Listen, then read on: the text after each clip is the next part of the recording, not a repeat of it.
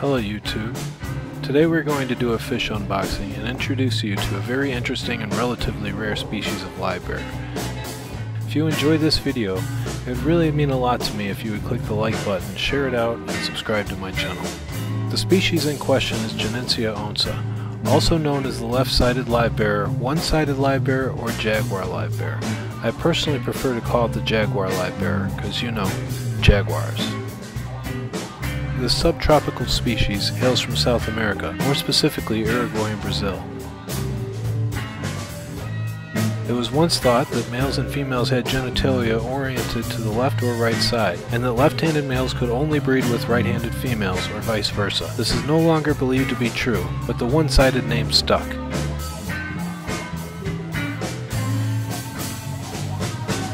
Years ago these fish were much more common in the hobby, they have now become rather rare. Several months ago I acquired a group of six young specimens but ended up with only three surviving. All three of them were female. So more recently I was lucky enough to find some available on Aquabid and ordered a group of six juvenile fish from a breeder in California. I'm happy to report that the seller included some extras to cover any losses, but thankfully no losses occurred, so you're seeing me unbox and unbag 8 of these beautiful livebearers. By the way, if you'd like to hear more about my method for acclimating new fish, let me know in the comments below.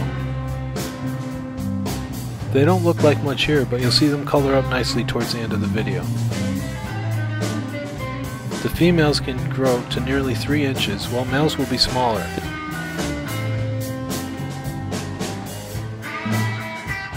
They reportedly prefer a pH between 6.8 to 7.8 with moderate hardness and are said to do better in slightly cooler temperatures than other tropical fish, so I keep mine around 74 degrees Fahrenheit. They are a bit difficult to breed and they do predate on fry. I'm hoping to raise these up and breed them nonetheless. I'll post a follow-up video when that happens.